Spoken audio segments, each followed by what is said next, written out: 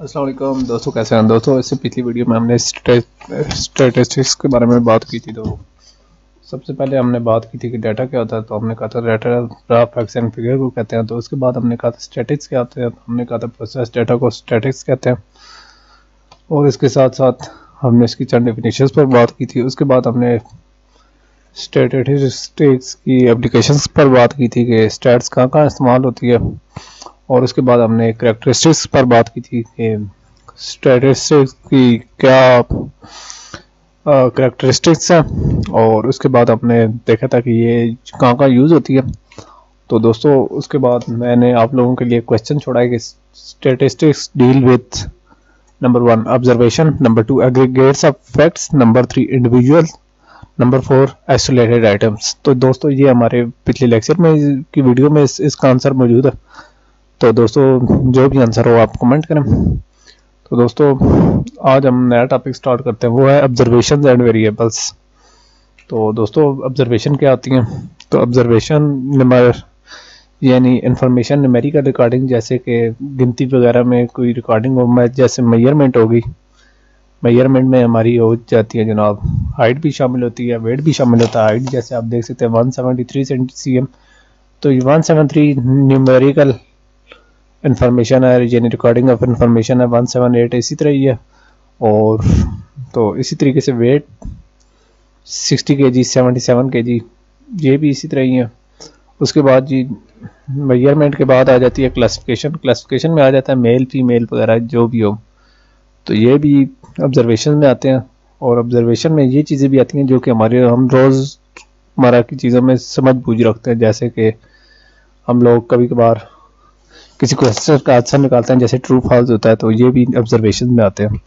तो दोस्तों, अब हम बात कर लेते हैं वेरिएबल्स वेरिएबल्स क्या होते हैं कि जी, वो खुशियात जो कि हर शख्स से या ऑब्जेक्ट से चेंज हो, जैसे हर शख्स की, बच्चे की एज डिफरेंट होती है, बड़े की डिफरेंट होती है यंग की डिफरेंट होती है, बूढ़े की डिफरेंट होती है, हर इंसान की एक डिफरेंट है। तो जनाब, वो करेक्टरिस्टिक जो हर इंसान के साथ चेंज हो, उनको वेरिएबल कहते हैं। वेरिएबल्स आईटी में तो मेमोरी प्लेस होल्डर होते हैं, यानी हर वेरिएबल या लेबल के अगेंस्ट डिफरेंट वैल्यू हम मेमोरी में स्टोर करते हैं। तो जैसी है वेरिएबल की भी, यहाँ भी इसी तरह का है। और यहाँ बात कर लेते हैं वेरिएबल्स की डोमेन तो जनाब वेरिएबल की डोमेन क्या होती है? तो जनाब वेरिएबल जिन जिन सेट से वैल्यू ले सकता है या पॉसिबल वैल्यूज़ ले सकता है तो उसको उसकी डोमेन कहते हैं। तो दोस्तों वेरिएबल्स को फर्दर क्लासिफाई करते हैं दो दो टाइप में क्वांटिटेटिव और क्वालिटेटिव वेरिएबल्स तो दोस्तों वेरिएबल्स वो वेरिएबल जिनकी सिंगल वैल्यू हो तो वो कांस्टेंट कहलाते हैं। तो दोस्तों वेरिएबल में वेरिएबल की टाइप्स पर थोड़ी बात कर लेते हैं। वेरिएबल्स की टू टाइप्स होती हैं क्वांटिटेटिव वेरिएबल्स और क्वालिटेटिव तो दोस्तों, मैंने आपको एक पिक्चर में दिखा रहा हूँ कि क्वालिटी मतलब कभी कभार हम क्वांटिटी पर क्वालिटी को कंप्रोमाइज़ कर जाते हैं कभी कभार हम क्वालिटी पर क्वांटिटी को कंप्रोमाइज़ कर जाते हैं। तो क्वालिटी से मुराद खूबी है और क्वांटिटी से मुराद तादाद है। तो ये डिफरेंट चीज़ें हैं। ये भी नहीं है कि कभी कभार हम कहें हमें क्वालिटी चाहिए क्वांटिटी नहीं चाहिए। तो ये डिफरेंट एस्पेक्ट्स हैं। यानी हम दोनों की अहमियत को इग्नोर नहीं कर सकते। जैसे डेमोक्रेसी में क्वांटिटी की बहुत अहमियत है। क्योंकि जिसको ज़्यादा वोटें मिलेंगी, वही कामयाब होता है और क्वालिटी की बात जब होती है तो क्वालिटी भी एक अच्छी चीज़ है। हमें एक अच्छे क्वालिटी वाला लीडर चाहिए होता है तो दोस्तों क्वालिटी सबसे पहले हम बात करते हैं क्वालिटेटिव वेरिएबल्स यानी वो वेरिएबल्स जिनमें ना हम वो खसूसियात वेरिएबल की डिस्कस करते हैं जिनमें नंबर्स इन्वॉल्व नहीं होते। और इन्हें हम अमूमन एट्रीब्यूट भी कहते हैं और खसूसियात कहते हैं। एट्रीब्यूट हम डेटाबेसिस में अमूमन यूज़ करते हैं। बहरहाल, जनाब एट्रीब्यूट्स या क्वालिटेटिव एनालिसिस और क्वालिटेटिव वेरिएबल से क्या मुराद है? तो जनाब, इसमें एजुकेशन है मतलब किसी ने मास्टर्स किया होता है, किसी ने एफएससी किसी ने बीएससी तो किसी ने पीएचडी किया होती है तो किसी ने सीए वगैरह किया होता है तो ये एक एट्रीब्यूट भी है और एक क्वालिटेटिव वेरिएबल है। इसमें कोई गिनती इन्वॉल्व नहीं है मास्टर में कोई गिनती इन्वॉल्व नहीं है, यूँ इस तरीके से। उसके बाद सेक्स मतलब मेल है फीमेल है, यानी ये एक करेक्टरिस्टिक या खूबी है। उसके बाद आई कलर मतलब किसी का ब्राउन है, किसी का ब्लू है, किसी का ग्रीन है तो ये भी एक करेक्टरिस्टिक है। और इसके बाद आई क्यू हर बंदे का आई क्यू डिफरेंट होता है। कुछ लोगों का आई के बहुत ज़्यादा होता है, किसी कुछ लोगों का कम होता है तो ये भी एक क्वालिटेटिव वेरिएबल है यानी खसूसियत है।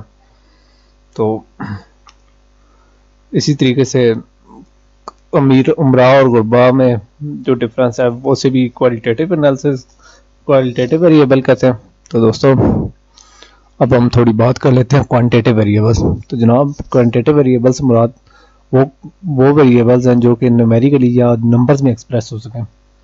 तो अब हम थोड़ी बात कर लेते हैं क्वांटिटेटिव में क्या है। तो सबसे पहले एज आ जाती है। बच्चे की कितनी एज है, पर जवान की थोड़ी डिफरेंट होती है, यानी पाँच साल, दस साल, बीस साल, या इस तरीके से, ये तो क्वान्टिटेटिव कहलाते हैं। इसी तरह वेट है। तो जनाब वेट में हाफ़ के जी आ सकता है वन बाई फोर के जी आ सकता है के जी आ सकता है फाइव के जी आ सकता है टेन के जी आ सकता है टन आ सकता है। इस तरीके से हम इसकी बात कर लेते हैं।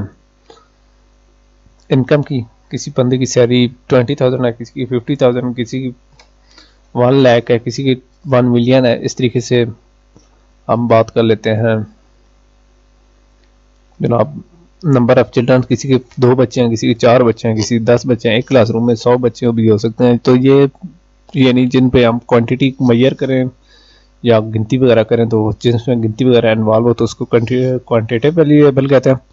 तो दोस्तों, अब हम क्वांटिटेटिव वेरिएबल्स को भी फर्दर एक्सपेंड करते हैं।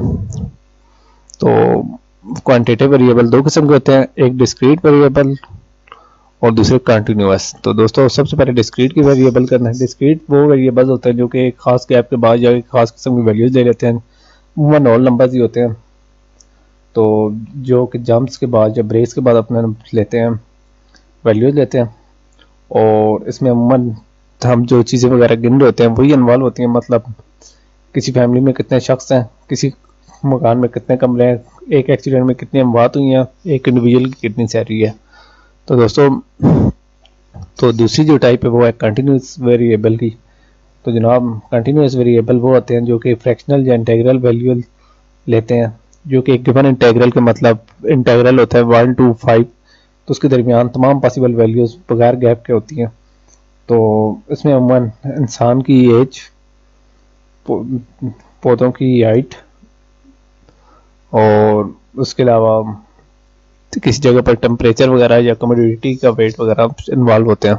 तो दोस्तों, इसके साथ साथ मैं आप लोगों के लिए क्वेश्चन छोड़ के जा रहा हूँ कि differentiate between qualitative and quantitative variables तो दोस्तों, जो भी आपका आंसर हुआ, आप लोग कमेंट कीजिएगा। तो दोस्तों, इसके साथ मैं आप लोगों से ज़्यादा चाहता हूँ। नेक्स्ट वीडियो में